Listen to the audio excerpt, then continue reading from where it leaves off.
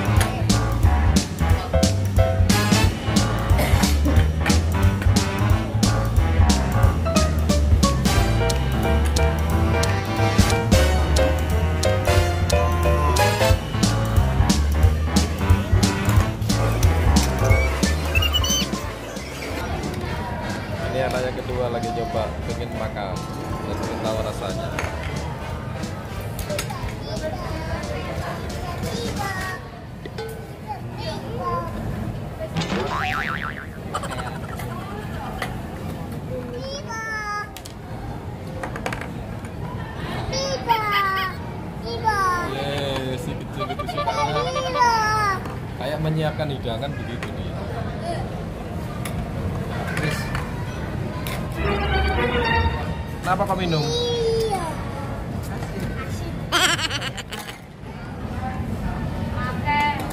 Dia bisa nyupitnya itu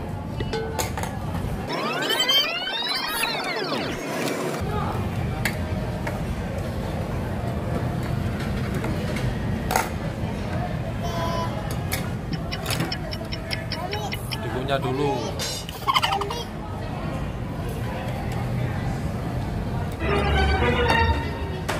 Itulah itu besar ukurannya ya.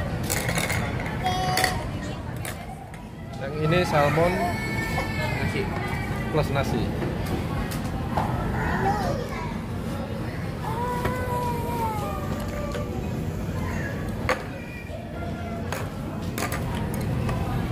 Makanya harus pakai ini ya pakai ini saus. Ini yang pizza ini yang datang. Saya ingin tahu rasanya ini. Salmon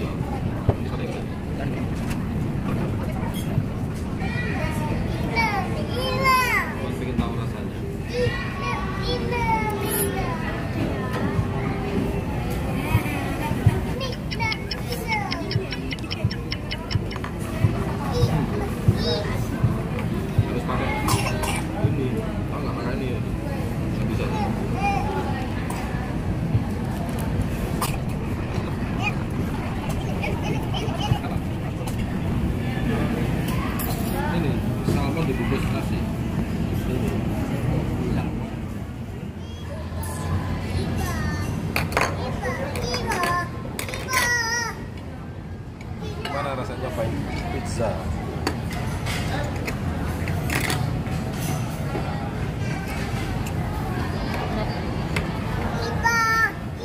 Tadi coba menu suteki pizza. Saya masih belum tahu rasanya. Kalau saya sih nggak nggak begitu pengen nyoba sih. Karena makanan-makanan semacam ini tuh asing bagi saya boleh nggak boleh hmm hmm ini adik mau nyoba si kecil pizzanya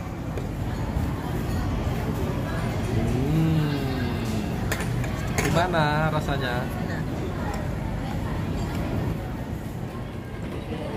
Nyoba uh, suteki pizza. Nggak tahu rasanya. Nggak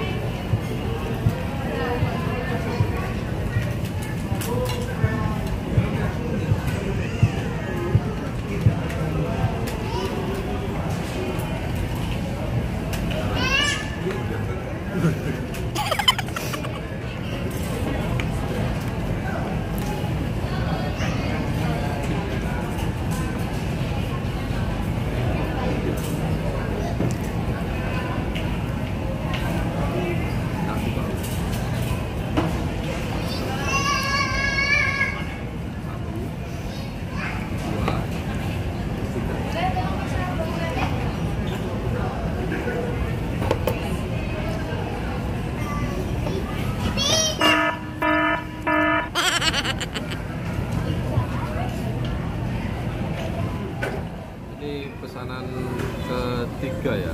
Apa tadi namanya ini? Pesanan apa ini tadi?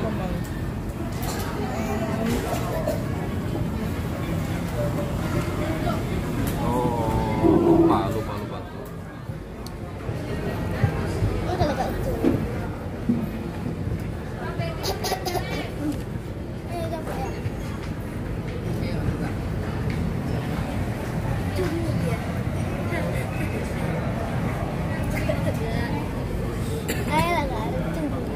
teksturnya apa aja? Nasi. Ayam. Nasi, ya. Ini salmon. Salmon. Saya rasa Punyamu tadi. dari ini ini ini semua yang dominan makan biar mereka mereka lah kalau saya enggak Eh, tadi sudah beberapa saya rasakan Eh, ikan salmonnya sama yang apa itu nggak tahu lah namanya nama namanya yang jelas kayaknya makanan makanan ini saya nggak cocok deh. Jadi makanan ini yang tidak cocok di lidah saya.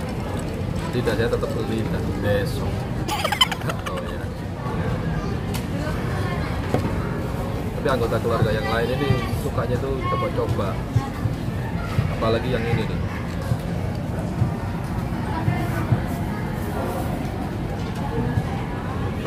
idenya itu dari dia. Dia ingin merasakan karena dia lihat temennya yang baru saja makan makanan Jepang. Sini duduk sini. Duduk sini.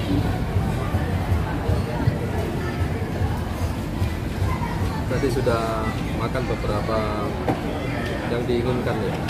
Gimana rasanya? Suka? Mau coba lagi kapan-kapan mau coba lagi kapan-kapan? Apa sudah cukup? Eksperimennya sudah cukup?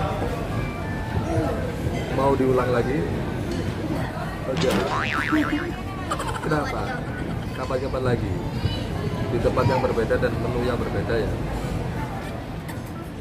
Kadang sesuatu yang baru itu perlu dicoba? Jadi enggak enggak berdasarkan katanya enggak berdasarkan cara kalau sudah dicoba bisa merasakannya